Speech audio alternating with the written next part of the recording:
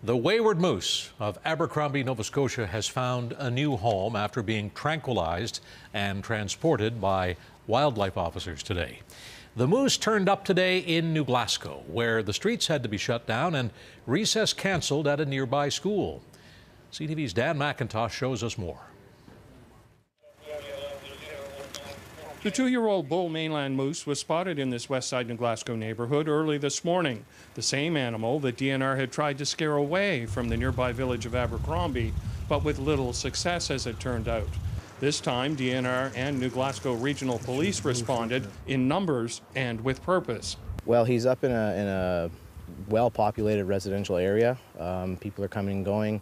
Um, we have the, the, the short perimeter kind of um, barricaded here, but uh, the possibility for him to move uh, and move very quickly um, is very real. At the moment, we are waiting for the uh, tranquilization team. Uh, they are en route, and we're hoping to uh, remove the animal from the area without any further incident. Fortunately, the moose didn't seem interested in moving very far. We cordoned off the areas of the west side of Glasgow simply as a public safety measure.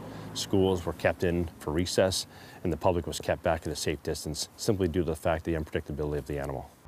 The first tranquilizer shot didn't connect and the dart was recovered. The second wasn't a clean shot. The third was successful. Basically, what happened was the moose uh, went into the wooded area and he just laid down and, and, went to sleep. So it was a successful retrieval. The moose was taken to a large livestock trailer and loaded on the back for transport.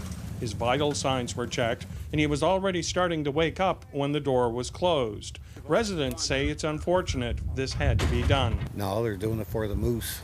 And the population isn't really strong, so they have to take care of it. Steve says the moose will be released in a wooded, swampy area away from homes, a proper habitat for the animal.